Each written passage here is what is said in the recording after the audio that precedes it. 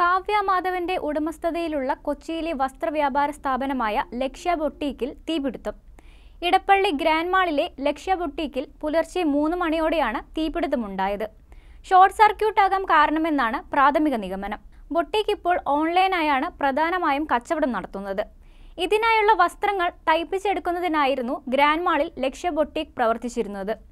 തീപിടുത്തത്തിൽ തുണിയും തയ്യൽ മെഷീനുകളും പൂർണമായും കത്തി നശിച്ചു ബൊട്ടീക്കിൽ നിന്ന് പുക പുറത്തേക്ക് വരുന്നത് കണ്ട സെക്യൂരിറ്റി ജീവനക്കാർ പോലീസിനെയും ഫയർഫോഴ്സ് ജീവനക്കാരെയും വിവരം അറിയിച്ചതോടെ രണ്ട് യൂണിറ്റ് ഫയർഫോഴ്സ് എത്തി തീ അണയ്ക്കുകയായിരുന്നു.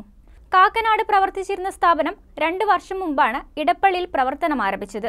ദിലീപുമായി വിവാഹം കഴിഞ്ഞ ശേഷം ഏറെ നാൾ സിനിമയിൽ നിന്നും മാറി നിന്ന കാവ്യ പുതിയതായി എന്തെങ്കിലും ചെയ്യണമെന്ന ആലോചനയിലെത്തുകയും ഫാഷൻ ഡിസൈനിംഗ് പഠിച്ച സഹോദരൻ മിഥുന്റെ പിന്തുണയോടെ ലക്ഷ്യ തുടങ്ങുകയുമായിരുന്നു. നടിയെ ആക്രമിച്ച കേസിൽ ലക്ഷ്യക്കെതിരെ ആരോപണങ്ങൾ ഉയർന്നു വന്നിരുന്നു. പ്രധാന തെളിവായ ദൃശ്യങ്ങൾ അടങ്ങിയ മെമ്മറി കാർഡ് ഒളിപ്പിച്ച സംഭവവുമായി ബന്ധപ്പെട്ടാണ് ലക്ഷ്യ വാർത്തകളിൽ നിറഞ്ഞു നിന്നത്.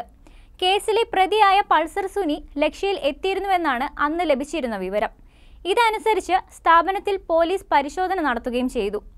ഇതെല്ലാം കൊണ്ടും ഇക്കാരണങ്ങൾ കൊണ്ട് സ്ഥാപനത്തിലുണ്ടായ തീപിടുത്തത്തെ ഗൗരവത്തോടെ കാണാനാണ് പോലീസിന്റെ തീരുമാനം.